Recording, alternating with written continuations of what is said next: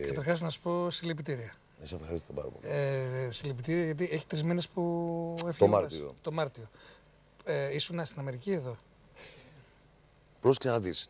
Γιατί και πάλι σου λέω ότι τίποτα δεν είναι τυχαίο. Μπαίνει ο πατέρας μου για μια... Είχε, Είχε πρόβλημα ο είχε, πας. είχε θεματάκι, μπαίνει για μια τυπική εγχείρηση ε, ουσιαστικά.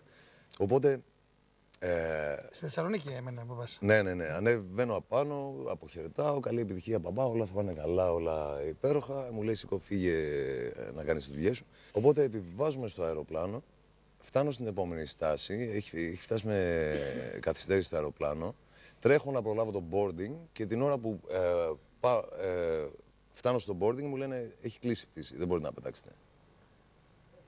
Και που είναι εδώ το αεροπλανάκι, αφήστε να μπω. Εσείς φταίτε έτσι κι αλλιώς που καθυστέρησε η πτήση σας. Ε, ναι.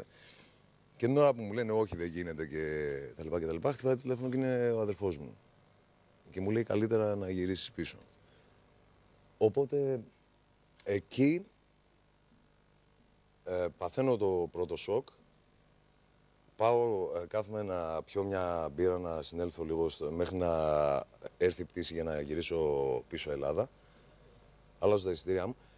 Και όπως πάω να πληρώσω την μπύρα, και εκείνη την ώρα με πήρε και ο πατέρας Αντωνίος τηλέφωνο. Που είναι η πρώτη φορά που ε, με πήρε ο ίδιος. Και, και είναι, ε, Από την Κιβωτό ο πατέρας ναι, Αντώνης. από, από την Κιβωτό. Ε, Έτσι απλά μου λέει, ήθελα να δω αν είσαι καλά. Απίστευτο.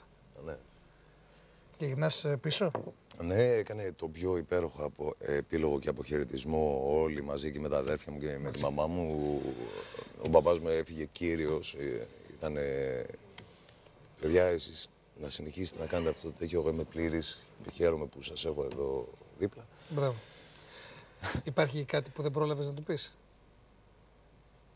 Όχι, ακόμα και το τραγούδι που έγραψα πρόλαβε και το άκουσα.